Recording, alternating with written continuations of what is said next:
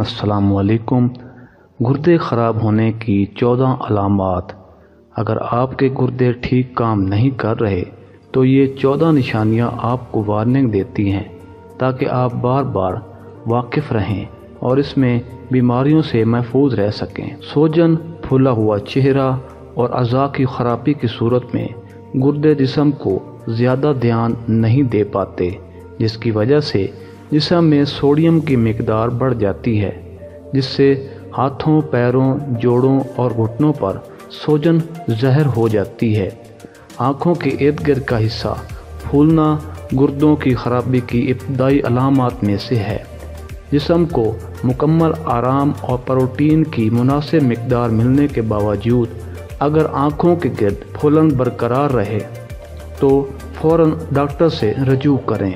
गुर्दों के खराबी से खून साफ़ करने का काम मुतासर हो जाता है, जिसके जिसम पर खारिश और सुर्ख निशानात की शिकायत हो सकती है। गुर्दों की खराबी की एक आम अलामत ये है कि जिसम में जहरीले मवाद जमा होने से भूख नहीं लगती और ना ही कुछ खाने को दिल करता है और दिल मतलाने लगता है। गुर्दे के अफाल में खराबी से खून में जहरीला मवाद जमा होने लगता है। जिसका असर मुँह के जायके पर पड़ता है और खाना तलक है या मामूल से हट कर लगता है।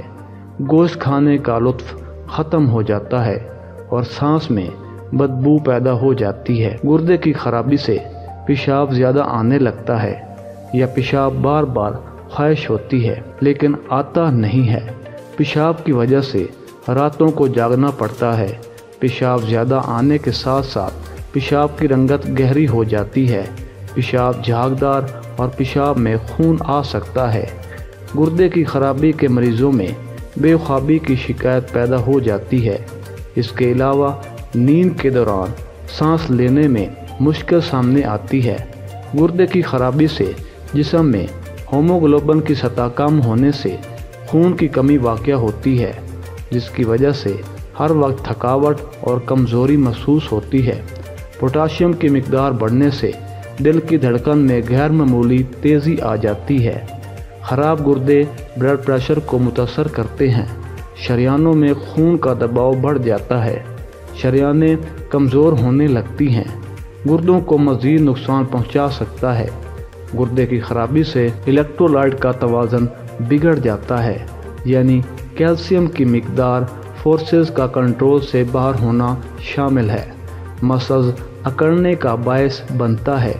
अगर गुर्दे सुस्त या काम न करें तो सियाल मादे जिसम में जमा होने लगते हैं, जिससे जिसम के कुछ हिस्से, जैसे चेहरे, पाँव, घुटने वगैरह में मुस्तकिल सोजन रहने लगती है। गुर्दे की खराबी के मरीजों के लिए चंद ज़रूरी बातें जानना ज़रूरी है।